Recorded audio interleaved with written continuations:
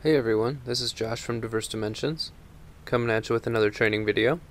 Today I'd like to show you how to activate the Polyworks Talisman app on either iOS devices or Android.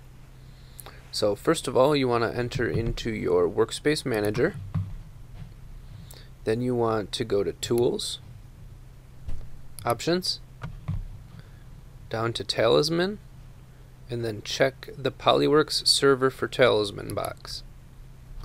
Then click Apply.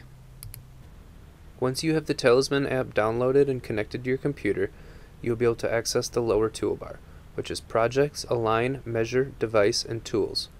Under Tools, you'll be able to access the 3D scene and pan around the 3D scene just as you would if you were on your computer. Thanks for watching another one of Diverse Dimensions training videos.